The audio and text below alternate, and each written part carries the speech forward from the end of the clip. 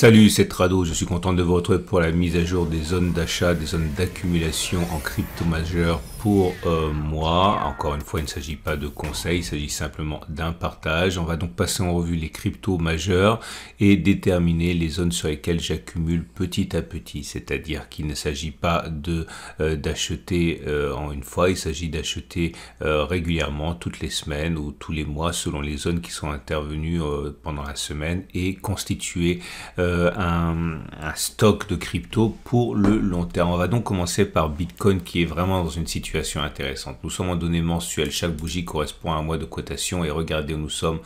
Nous sommes sur un support mensuel, celui des 35 000, 28 500. C'est une zone qui a été testée une fois, deux, trois, quatre, cinq fois et cinq fois de suite on a préservé cette, cette zone. Jamais depuis mai 2021, jamais depuis 12 mois, on a réussi à clôturer en dessous et pour l'instant on dirait que la magie opère encore. Il s'agit pour moi naturellement d'une zone d'accumulation rationnelle.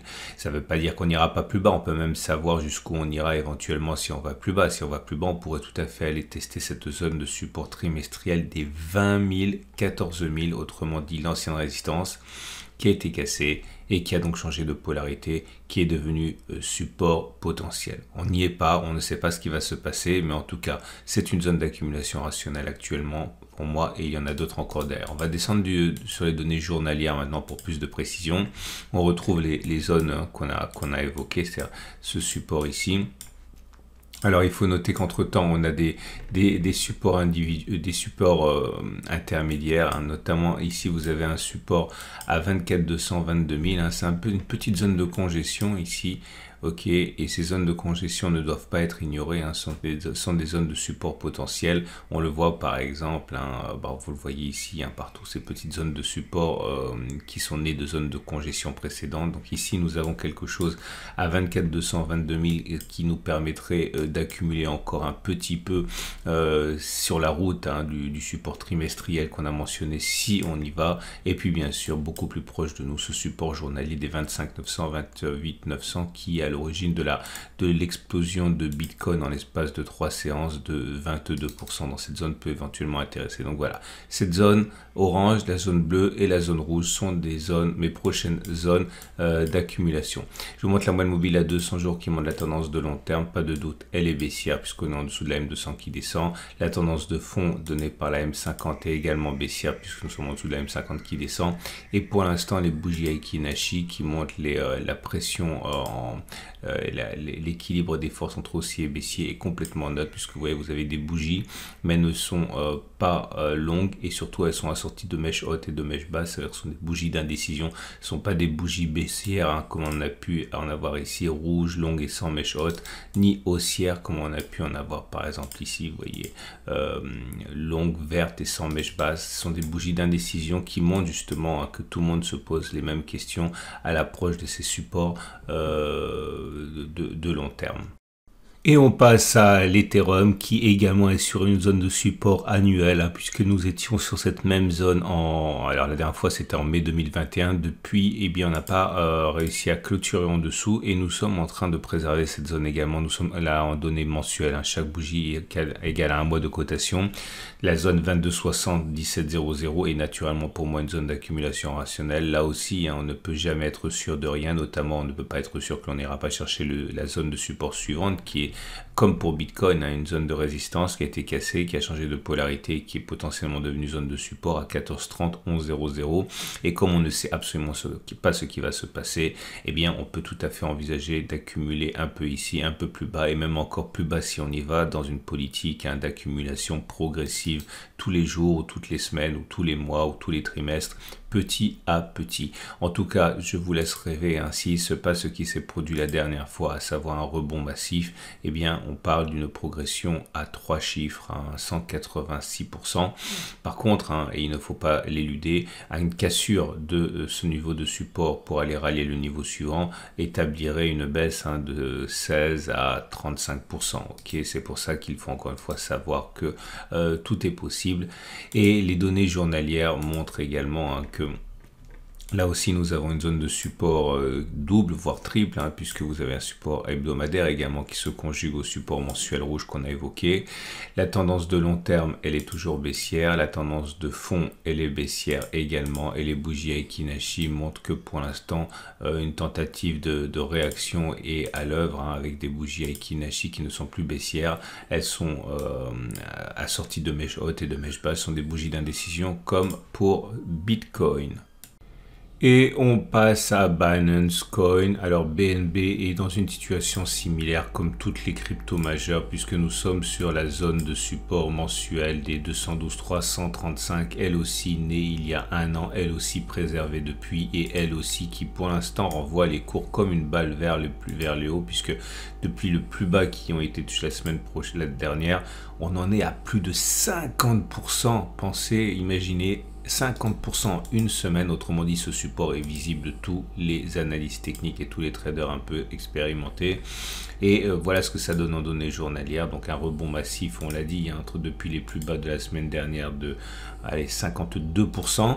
Euh, c'est une zone d'accumulation rationnelle, évidemment. Hein. C'est pas la seule, on le sait, mais pour l'instant, on a un petit peu de marge. La tendance de long terme, malheureusement, demeure baissière. La tendance de fond, pour l'instant, demeure baissière également. Et les bougies Alors ça, c'est intéressant parce que les bougies Aikinashi montrent une première bougie verte sans mèche basse. Alors, elle est un peu euh, timide, on va dire. C'est pas une longue bougie, mais euh, force est de constater qu'il n'y a pas de mèche basse sur cette bougie et cela fait des semaines et des semaines qu'on n'a pas vu des bougies comme ça. Donc c'est assez encourageant. Pour la suite, on est sur zone d'accumulation rationnelle progressive. Et on passe à Ripple. Ripple en données mensuelles fait état également d'un retour sur support majeur, ancienne zone de résistance qui a été cassée, qui a changé de polarité et qui fait merveille en tant que support. Alors c'est une zone qui est très large hein, parce que c'est une zone qui est en données mensuelles. Donc vous imaginez bien que quelque chose compris entre 0,4 et 0,123 implique que l'on rentre en plusieurs fois éventuellement. Je monte les données journalières. Alors effectivement, on le voit, on est sur cette zone. Les premières réactions violentes ont d'ailleurs eu lieu Hein, sur cette zone qui a permis un rebond depuis les plus bas de 25%, autrement dit ouais, 23. Euh, ça a été mieux, hein, puisque en l'espace de deux séances, entre les plus hauts et les plus bas, on a même fait plus 38% euh, d'un jour au suivant. En tout cas, c'est une zone euh, de d'accumulation rationnelle. Il est tout à fait envisageable que beaucoup de traders décident de rentrer progressivement tout au long de la baisse éventuelle, hein, puisque regardez, on peut encore descendre sans remettre en cause le support mensuel de 70%, ce qui, veut dire qu'acheter un petit peu euh, toute, chaque fois que l'on perd une dizaine de, de pourcents est envisageable. Hein pour ne pas rentrer en une fois. La tendance de long terme n'a pas changé, elle est toujours baissière. La tendance de fond est toujours baissière et les bougies Aikinashi euh, qui font état du rapport de force actuel montrent des bougies d'indécision avec mèche haute et mèche basse petite. Bref, euh, on n'a absolument pas ici le signe d'une bougie et d'une pression haussière établie. Et c'est maintenant au tour de Cardano qui bizarrement reste assez loin d'un support euh, quelconque qui serait euh, plurimensuel ou euh, annuel, hein, puisque le support trimestriel équivalent à ce qu'on a vu précédemment serait beaucoup beaucoup plus bas. C'est un signe de, force relative. Hein. Je vous montre les données mensuelles. Vous voyez la, zone qu'on a établie ici, ancienne zone de résistance qui aurait été cassée, qui c'est un support qui a été préservé d'ailleurs, est assez éloigné. Donc il faut se rabattre sur une zone d'accumulation rationnelle qui est beaucoup plus proche. J'ai pensé à cette zone ici de congestion hein, qui, a, déjà joué son rôle ah assez péniblement, assez tardivement, mais quand même ici, aidé il est vrai par le support trimestriel. Mais ça pourrait être une zone qui explique pourquoi on a rebondi au point près euh, sur cette zone des 0,40, 0,28. On n'est plus sur zone d'accumulation rationnelle du coup, puisqu'on est éloigné, mais je pense qu'ici, on peut envisager qu'il y ait un petit support journalier, puisque c'est quand même à l'origine hein, du, euh, du rebond que a, auquel on a, on a assisté. Hein. C'est pas, pas neutre, hein, puisque depuis les plus bas, on a pris jusqu'à 57% sur Cardano et on en est quand même à plus de 38%, 37% en l'espace de quelques séances. Donc c'est une zone, c'est notre prochaine zone d'accumulation rationnelle, ici comprise entre 0,47 et 0,40 euh, avec derrière une autre zone d'accumulation rationnelle. Mais là, comme encore une fois, c'est très très large, on peut envisager d'accumuler au fur et à mesure hein, de la baisse, hein, si euh, baisse il y a, pour pouvoir rentrer et lisser hein, euh, les achats au mieux. La tendance de long terme pour l'instant est toujours baissière, la tendance de fond est également toujours baissière et les bougies Aikinashi, comme pour les précédentes cryptos, ne montrent que de l'indécision pour l'instant avec des bougies hautes, euh, des bougies euh, rouges, des bougies vertes, mais surtout des bougies assorties de mèches hautes et de mèches basses. Et on termine ce tour d'horizon avec Solana, euh, puisque Terra est sorti hein, de la sélection des grosses plus grosses capitalisations, malheureusement. Là aussi, il, nous faut revenir sur les données euh, mensuelles pour comprendre pourquoi la zone actuelle est euh, crédible. Hein. C'est une zone de résistance qui a bloqué les cours 4 mois de suite avant d'être cassée, qui a changé de polarité. On rebondit sur cette zone. 58-43, une zone très très large que beaucoup ont déjà mis à, à contribution. Nous sommes donc sur une zone d'accumulation rationnelle, vous l'aurez compris. Regardez l'explosion l'espace entre les plus bas euh, du 12 mai et les plus hauts euh, du 15 mai. Hein, la, crypto a pris 64%. Donc il est normal que maintenant cela s'agisse un petit peu, mais bon, ça valide hein, l'idée d'une zone d'accumulation rationnelle.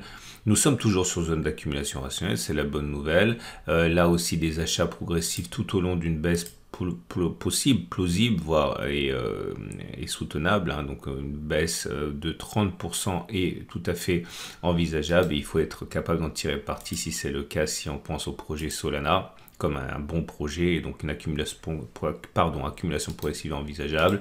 Tendance de long terme baissière, tendance de fond baissière, bougie Aikinashi qui indique le doute, hein, avec des bougies euh, mèche haute, mèche basse, alternance hein, de bougies rouges et de bougies vertes. Bref, ça ressemble euh, furieusement à tout ce qu'on a vu euh, précédemment. Voilà, c'en est terminé pour ce tour d'horizon.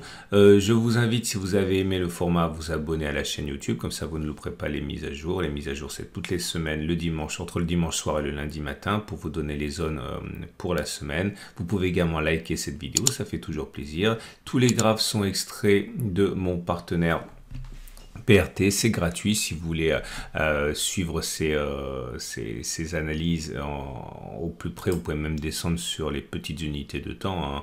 une minute, cinq minutes, quelques secondes. Bref, c'est gratuit. Vous avez un lien en dessous de la vidéo pour ouvrir un compte gratuitement.